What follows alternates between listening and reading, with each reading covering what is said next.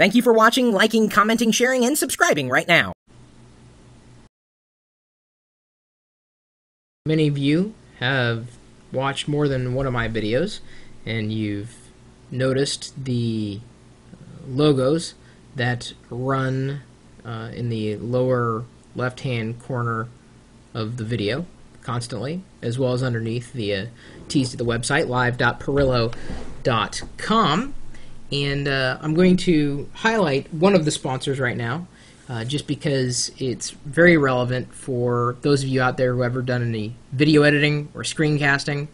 Uh, you may have noticed one of the logos coming through is uh, shinywhitebox.com. If you go to that website, you can download a couple of pieces of software, including iShowU. There, there, there's the logo right there. Uh, iShowU, which is a screencasting application perfect for when you need to record and encode videos for upload to the web. And then this particular application was just released the other day. This is Stomp. And calling it a video editor, well, number one, it's not accurate. Number two, uh, it is um, just a power tool for tweaking your videos. When I first saw this, I could not believe what it was that I was seeing. And so I thought it'd be nice to at least show you some of the things that Stomp can do because a lot of you guys out there ask me, well, how do you get a video ready for YouTube? How do you know what to do? Blah, blah, blah, blah, blah. Well, the nice thing about Stomp is, and I'm just going to zoom in a bit, uh, you can drag and drop any video into it. And it's not an editor necessarily, and I'll explain that in a second. But then you can choose a preset of how you want to encode or re-encode that video. You can select the YouTube setting, and it will automatically make it proper for YouTube. Then you can choose to recompress the video, leave the video untouched, or remove the video altogether, which case you'd be extracting the audio. You could leave the audio untouched, recompress the audio, or remove the audio. Again, this is independent. What's interesting is that you can crop the video. And it's not just uh, something is you type in a few numbers and away you go. When you select a, a, a cropping, you can drag and drop the size that you wish to crop the video dynamically. Amazing. Exceedingly simple. Uh, that was something that I I could have used. I, I, certainly in a couple of cases where I needed to edit a video and crop a video, there was no easy way of doing it. This is it. I could be done at that point. Uh, and this is of course a, a live video preview. Or James or anybody else, um, or by what the company can spend is this is a recent interview I did uh, at uh, a, a, local coffee shop with a, a, couple of folks who are doing something important at uh, Microsoft. You'll have to watch that video separately. I'm going to turn down the volume, but I'm going to keep the video moving just to show you. Those are the presets for encoding. The filters tab is where it gets very, very, very cool. So, uh, you ever wondered how you could do a video only re-encode it so that it looked like you were a bee. Well, it's not exactly that way. But with the op tile effect, you can choose the center, you can choose the width of those blocks, you can make them small or large, you can choose the scale at which the original video it's taking those blocks, uh, you can choose the, the source points, the center points, that's just one particular filter. There's also a linear gradient filter, which allows you to apply a linear gradient of eh, any two colors.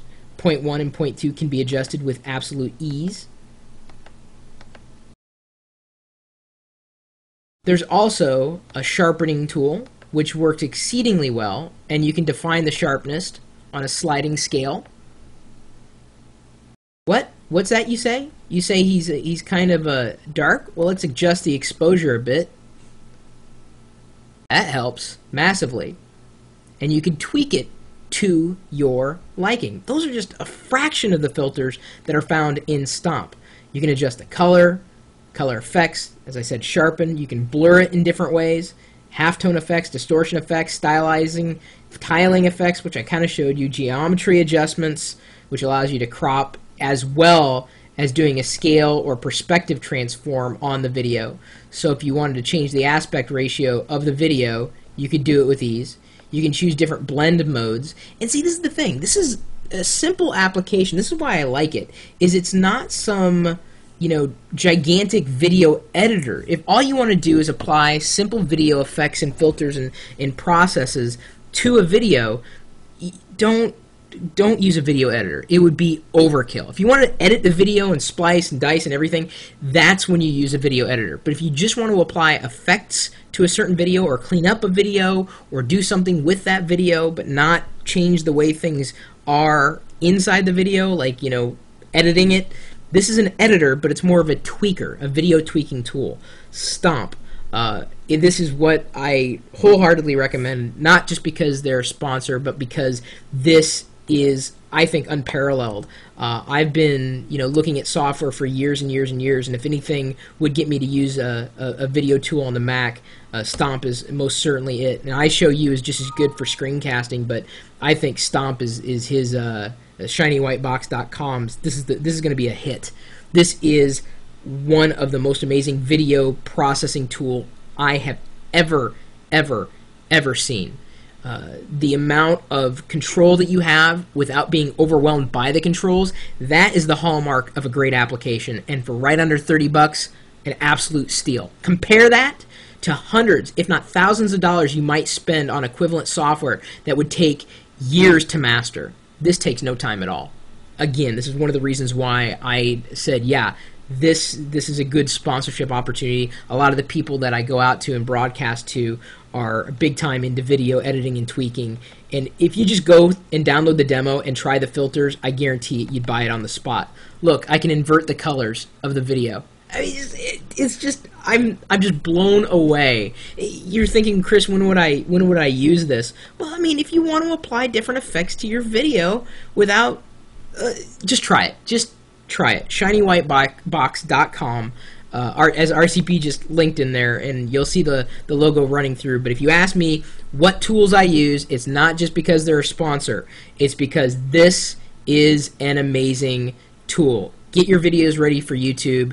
Use Stomp. I guarantee you'll love it. I, if not half as much, then certainly twice as much that I do. If you know of a really cool video tool or just any kind of software uh, that's nice and, and many people may not know about it, please let me know. Email me, chris at pirillo.com, and I'd love to take a look at it. Uh, and, and if it's you know worth sharing with the world, I certainly will. Uh, I don't mean to do a, a wacky uh, bump distortion effect on Will there, but uh, looks like I am in live video. oh, this is just so much. He looks like a lollipop now. That's just kind of spooky. Anyway, uh, chris at pirillo.com is my email address. You're, of course, welcome to leave a follow up if you know of any other cool video tools and might take a look at. Really easy to use uh, tools in general, software for either uh, Windows or uh, OS 10. I, would love to take a look at either one. And uh, you're also welcome to swing by our chat room where we're typically talking tech 24 hours a day, uh, seven days a week. And you know, you know where you can join us. You know, you know where that's at. You know where it's at. Live